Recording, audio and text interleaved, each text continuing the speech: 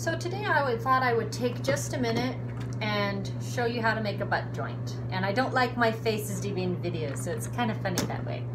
Um, but when you're building your armor, you have to somehow connect two pieces together. And this is kind of flimsy, so um, the best way to do is to create a butt joint. Now I don't know where the term comes from, but if you can see I've already done one here. What you do is you glue a thin strip of your ABS on either side of this and then you'll glue them together, clamp them, let them dry, and that is your butt joint. So to start off with, um, I've discovered this, I made a mistake. What I should have done was glued my plastic first to each side and then glued them together. Whereas I wasn't really thinking this through when I started and I just glued this side together and then I was like, oh, this is harder to do now. So don't make my mistake.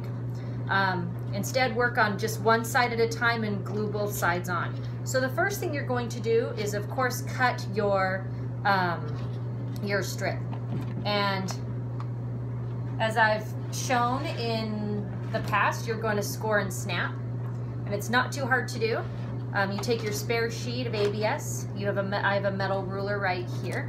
And um, you put on your gloves, of course, cut your thing, snap it, and you end up with your piece. So I've gone ahead and I've got mine right here. Um, I measured mine to be just a little bit less than my side so that it would fit nicely underneath. Um, I chose mine to be a little under an inch. Um, it's in between three and a quarter inch and um, so would that be seven eighths? Mine's seven eighths. Now I'm using E6000 glue. It's actually a very strong adhesive. It's industrial. Um, it pretty much, it almost bonds it together pretty firmly. It's not quite the same as a plastic weld, oops, but it oozes out. So what you do is you go ahead and you're gonna run your thin line of glue all the way down, all the way down. Now this stuff oozes quite a bit and kind of developed a method where you pull on this and it resucks it back in. Um, wipe off what you can and then hurry put your it the, putting on the lid will actually stop it from oozing out but if you squish it too much it just oozes forever so you don't want a ton because again it oozes and it doesn't need a lot so the steps just involve simply putting on glue and then actually sticking it here I'm kind of eyeballing that it's going to be in between and you're going to be using clamps. These are just dollar clamps. They're very strong that I got at my local, you know, Menards or Lowe's or Home Depot and they're all just the same. And then you're gonna go ahead and clamp it down. Um, the one thing you have to double check in this step is that you don't clamp down the other side, obviously. Um, if you do it this way, don't do it my way but you want to make sure that your clamp's not sitting where the glue might ooze out or you're going to glue your clamp to your um, piece, which would not be good. Um, these are rubber tips, so at least you can kind of work the clamp off and then, you know, chip out the rubber if you need to. And then, um, but if you look here on my inside, um, there is oozing glue. So I'm just being kind of careful. And I'm clamping it so that it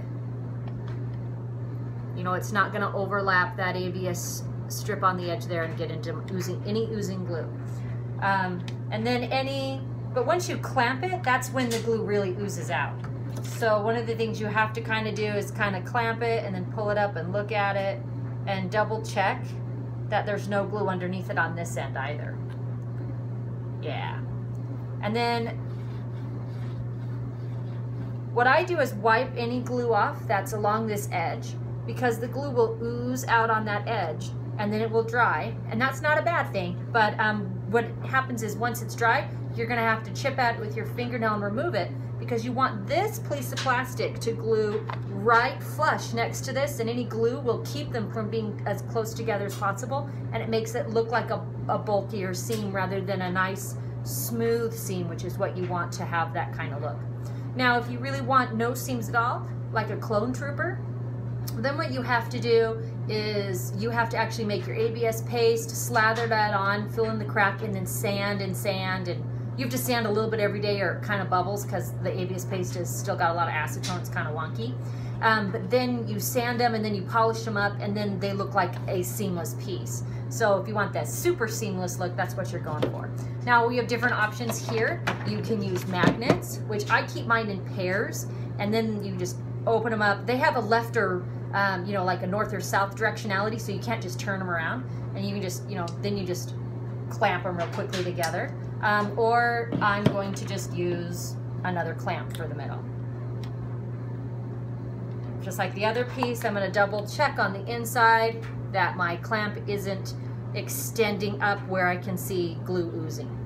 And I also put my glue on the far end of my little strip here in the middle um, so that will ooze out more this direction than that direction toward where my seam is. Ta-da! Now this just sits. The clamps make a nice little stand. Um, this is just a cut up old t-shirt. So yeah, the clamps will go ahead and just sit and you let this cure for about 24 hours and then it's pretty much fused and you'll find that it makes this nice, um, lovely seam.